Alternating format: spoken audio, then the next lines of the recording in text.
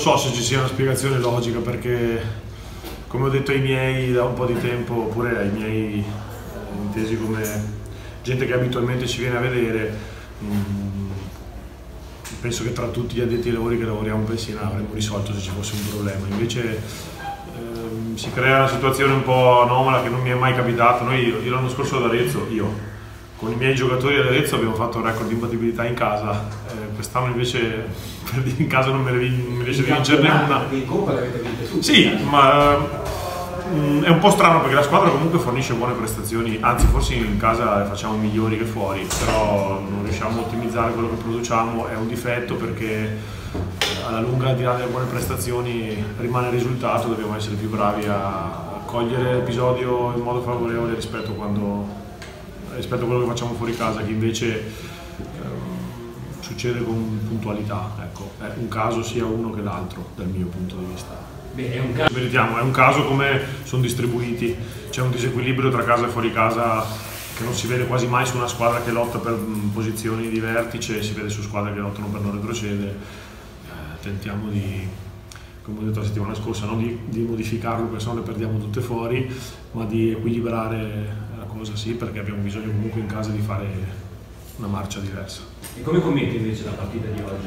La di oggi è stata una partita equilibrata, siamo partiti meglio noi i primi 25 minuti, eh, poi Alessandro è venuta fuori, ha spinto parecchio, ha attaccato con tanti giocatori, ci ha creato diversi problemi.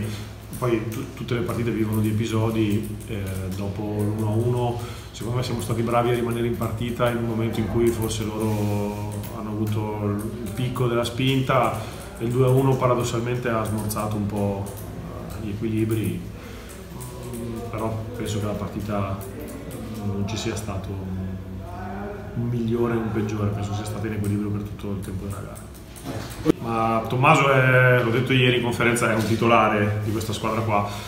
È successo che in un momento dove ha avuto un problemino fisico la squadra mi sembrava ben assestata in mezzo al campo e ha morso il freno per un paio di partite, però mh, io in questo gruppo qua ho la fortuna di allenare dei giocatori molto simili a livello di qualità, non abbiamo dal mio punto di vista dei picchi eh, strabilianti né in un senso né nell'altro, però io ho la facoltà, perché la società me l'ha messa a disposizione, eh, che quando cambio come mercoledì 11 giocatori dal campionato alla Coppa, mh, più o meno la squadra produce sempre qualcosa di buono, che dopo vinca o perda le partite è un altro paio di maniche, però la squadra sta sempre centrata.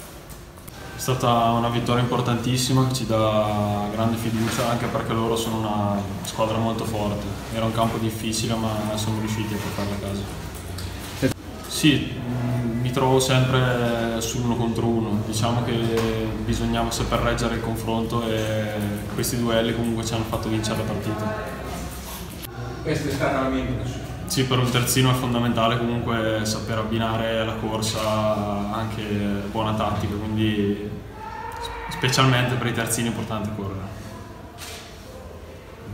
Ha molta importanza anche perché abbiamo guadagnato, abbiamo scalato posizioni in classifica vedendo altre che hanno pareggiato, anche perché siamo tutte di attaccate, era importante vincere per cercare di distanziarsi un po' da, dalle altre che ci stanno sotto. Non sappiamo se c'è... per un certo punto di vista. Sì, sì, esatto, un po' inspiegabile, anche perché comunque i dati dicono che produciamo bene anche in casa, tiriamo molte volte in porta, siamo sempre nella metà campo avversaria e, ed è strano come non riusciamo in casa ad avere lo stesso curriculum fuori casa. Non ce lo sappiamo spiegare. No, è, andato, è andata molto bene, siamo riusciti a coprirci molto bene anche grazie all'aiuto dei centrocampisti che ci hanno dato una gran mano e comunque che si giochi sia a 3, a 5 o a 4 riusciamo ad adattarci molto bene.